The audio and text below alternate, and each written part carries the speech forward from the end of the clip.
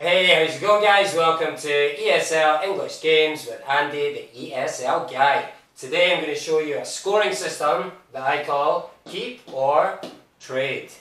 Let's take a look.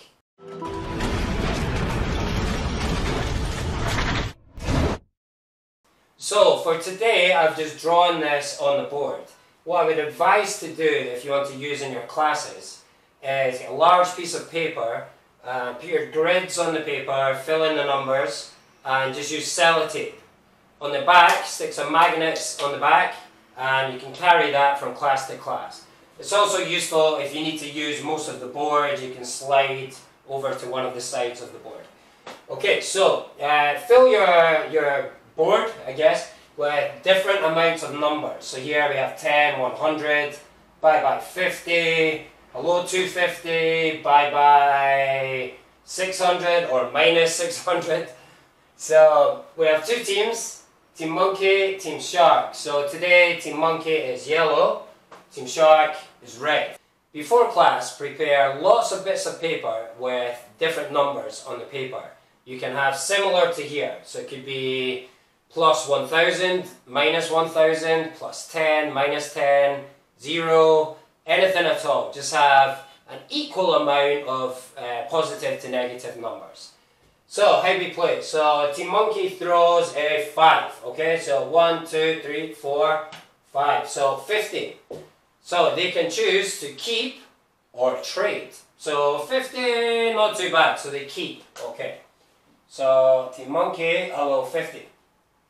So, Team Shark throws the dice, throws a three. One, two, three. So, minus 50. Bye-bye 50. Keep or trade. So they say, oh, okay, we'll trade. So normally I have a bag, keep all the numbers on the paper in the bag. So the student can choose one piece of paper. Takes out the bag, minus 200. Oh no! Okay. So you can explain to your students, even if they trade, it's not always a good thing. You're still taking a risk. We play again. Team Monkey throws a 5. 1, 2, 3, 4, 5. 30. Oh, maybe can get higher. So they go for trade. Okay, so dun, dun, dun, dun, dun, take one out. 200. Okay, so this team is now 250. And Team Red throws one, two, three, throws a four. Okay, so bye bye 300. Will you keep or trade? Mmm, not so good, yeah? So the kid, the student, okay, let's trade. Da da da da da, takes out the bag. 1,000! Woo woo woo! So this team, 800.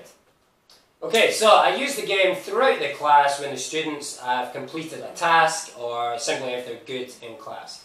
Uh, it's also a great way to control discipline in your class, take away points from each team, or what you can do is add points to the other team, okay? I hope you like this game guys. As always, any requests for future videos, put in the comments below, and I'll see you in the next video. Cheers!